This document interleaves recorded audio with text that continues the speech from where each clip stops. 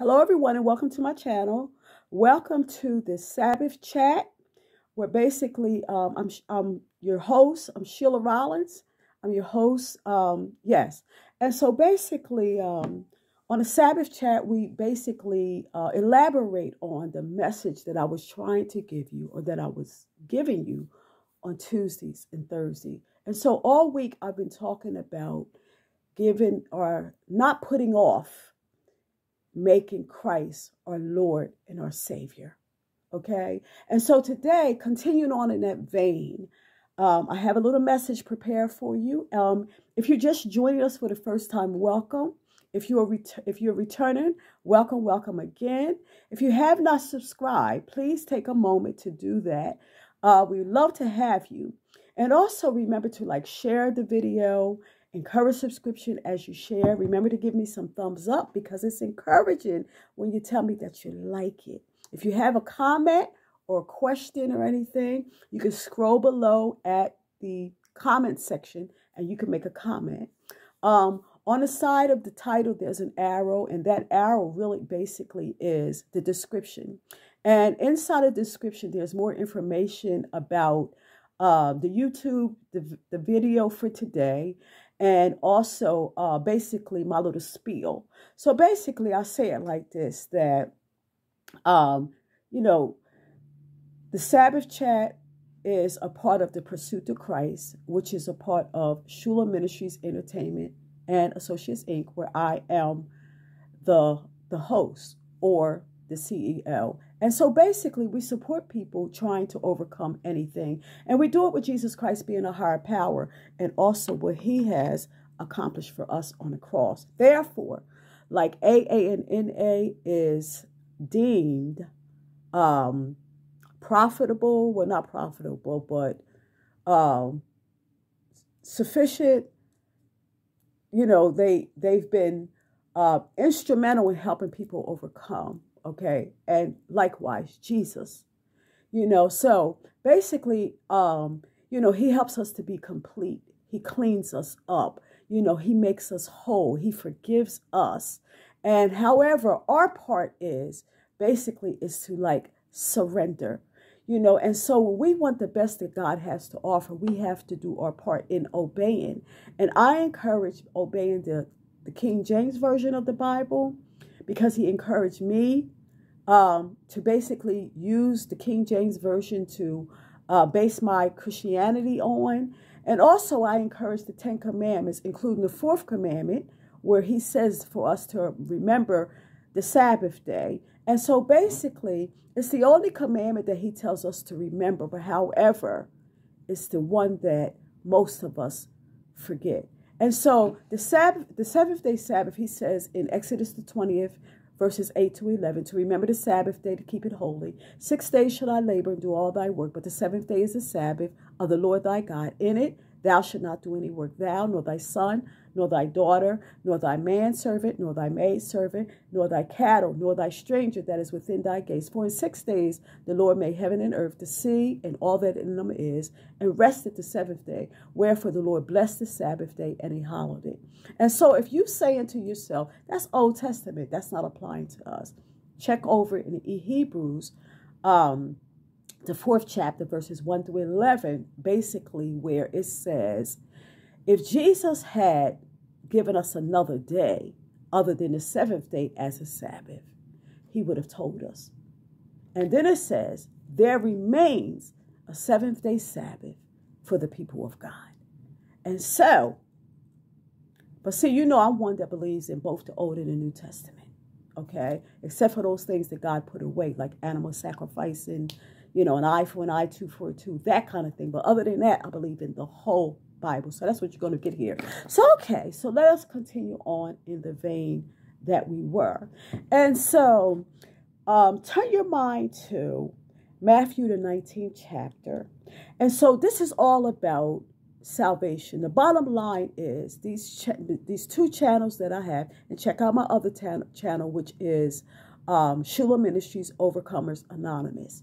Um, it's all about bringing people to Christ closer to Christ and surrendering, letting go even tradition and even also idolatry, like doing certain things because mommy did it, daddy did it, whatever our care, whoever our caretaker was, babysitter or whoever, but doing it because God admonishes, because He admonishes us to follow Him, and that's what true Christianity is. So, okay, so the Bible says that, and behold, and this is Matthew 19 chapter, starting at verse 16, and behold, one came and said unto him, Good master, what good thing must I do? What good thing shall I do that I may have eternal life?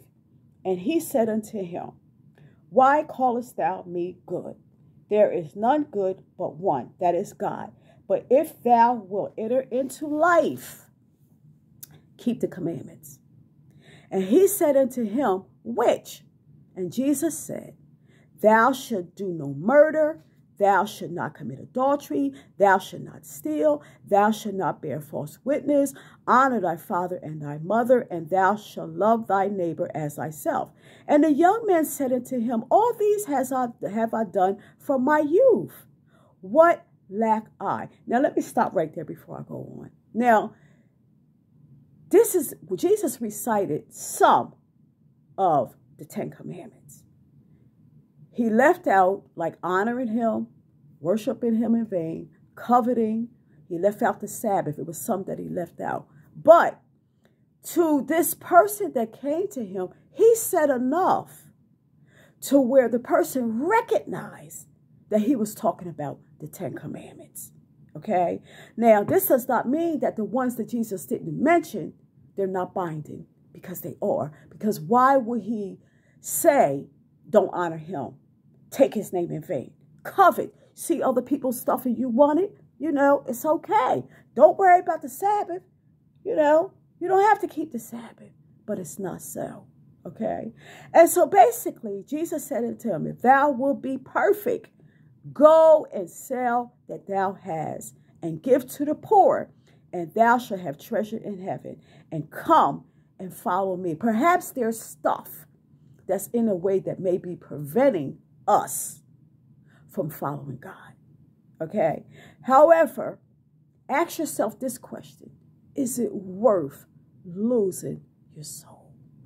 It's not worth it to me, but let's go on. But when a young man heard the saying, he went away sorrowful, for he had great possession. Then said Jesus unto the disciples, Verily I say unto you, that a rich man shall hardly enter into the kingdom of heaven. And again I say unto you, it is easier for a camel to go through the eye of a needle, imagine that, than for a rich man to enter into the kingdom of God. When his disciples heard it, they were exceedingly amazed, saying, Who then could be saved? Because, see, it seems like the disciples thought what I thought that to be rich, you have everything. Okay? And that basically, you know, what, what else do you need? Okay? But here, Christ is saying, you don't have the kingdom. And the only way that you can get it is by obeying me. So instead of this person saying, tomorrow, tomorrow, I give my life tomorrow. I thought about today. But it's so much easier to say instead of him saying tomorrow. The Bible says he went away sorrowful. Okay? But Jesus said unto them, Jesus beheld them and said unto them, With men this is impossible. But with God, all things are possible. And I love that because, you know, a lot of times we think that we need to fix ourselves up before we come to Christ. And I have some things here that, you know, basically that God has promised. And I got about seven things here, and I believe in a bonus about some things that God is promising that gives us the confidence to come on to come on and give our life and surrender us our lives to Him, deeming that the things on this earth cannot even compare to what God has for us. Okay? And so God, Christ says, with men, this is impossible. With God, all things impossible. So, okay, so let's go on a little further. So the Bible says in Acts 4:12, basically that Jesus is the only name given among men whereby we can be saved. Now, some people may think differently. You know, back in the Bible days, they had their gold, their, their gods of silver and their gods of gold, they're gods of, of wood or whatever it is. Like the Bible says that they were just as dumb as the idols that they worship. Okay? And so, but today we find that the Bible tells us in the New Testament, for those of you that don't believe in the Old, in the New Testament, only the name of Jesus is where we can be saved. So, okay. Now, he promises us if we confess our sins, he is faithful and just to forgive us of our, of our sins and to cleanse us from all unrighteousness. No, no, no. Hold up, hold up. Don't go nowhere. He don't do it all at once. He does it little by little. The Bible says that every plant that's not planted by God is going to be uprooted. Okay? And so we don't have to worry about being overwhelmed with, you know, the things that we're accustomed to. And as He takes away the negative, he replaces it with a positive. Let's go on. Okay. The Bible says that he would never leave us nor forsake us. When we're suffering, the greatest suffering that I've experienced on this earth is the death of a loved one, accidents, trauma. He's saying he'll never leave us. He'll be right there with us till the end. Okay? And then he says that we can cast our cares. We feel bad because somebody died. Too many deaths right behind one another. Greatest person that you love, you know, sick in the hospital, struggling with cancer. Why? They believed in God. God is looking for testimonies.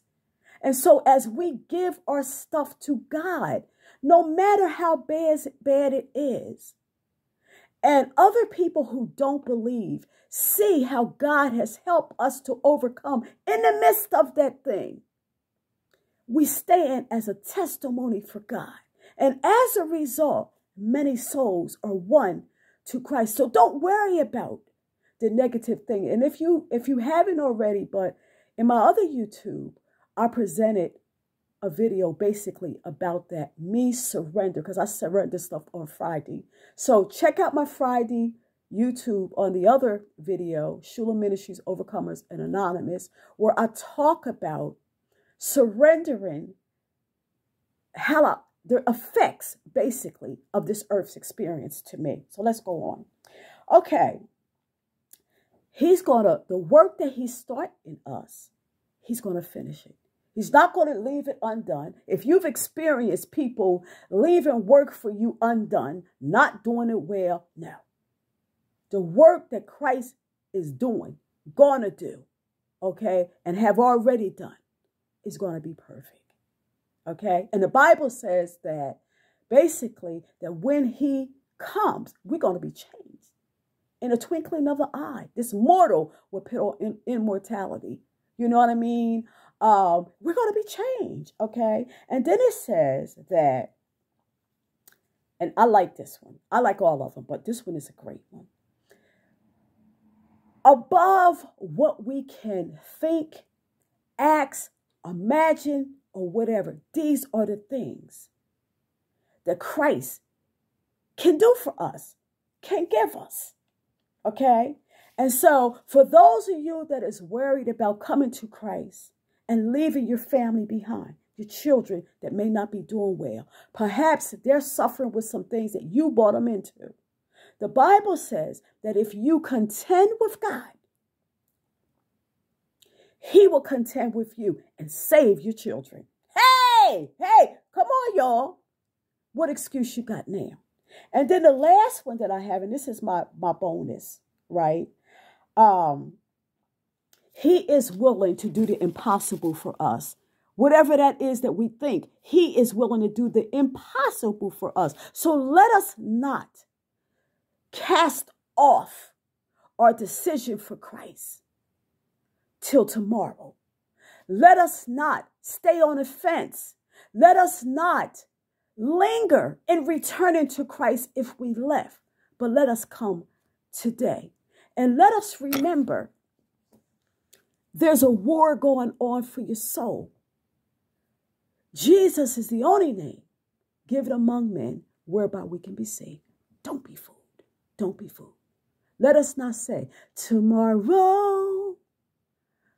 No, let us forget about tomorrow. I thought about today. Oh, please, your tomorrow very well might be too late. So whatever it is that we're going to do, and I know I messed that song up, but whatever it is that we're going to do, let us do it today.